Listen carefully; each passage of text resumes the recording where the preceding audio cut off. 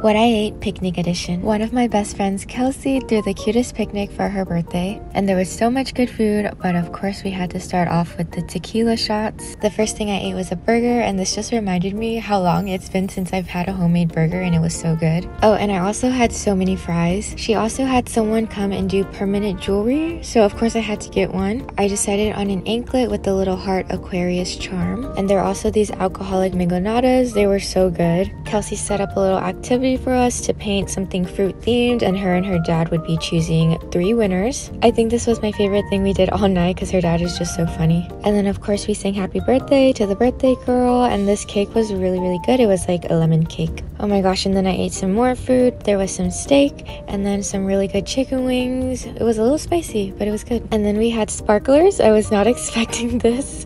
Um, and then she had a pinata, so that's how we ended the night. Oh, also karaoke.